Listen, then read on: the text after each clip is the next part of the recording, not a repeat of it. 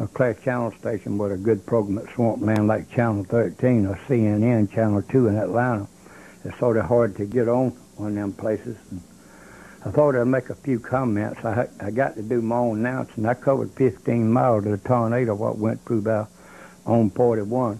I covered a train wreck down here a few days ago, and I covered a truck wreck down in Davisburg where the train had train had hit them not too far apart. A lady got killed in the in the van, and then the fellow down there yeah back got killed down there in the in the truck, and then uh, I covered a drowning down here at the river. I covered weddings, church programs, tornadoes, weddings, anything you have out there, uh, I covered.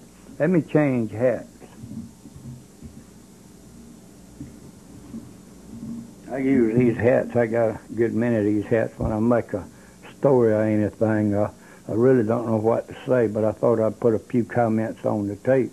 It's, weather's getting real cool down here. I don't think it's going to be too much longer before we're going to have frost. And I go, I go over this Saturday. I go to Santa's building, cover the parade, parade over there, and. Uh, we did had a slim crowd at Swampland. Usually, usually packed out. The crowd drops off over there, and uh, meet a lot of friends over there. It comes and goes out there.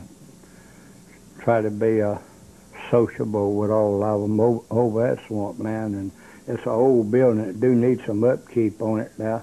Let me change over to the sailor hat. It needs it needs some up, upkeep on swampland. I don't know. They may shut it down Christmas.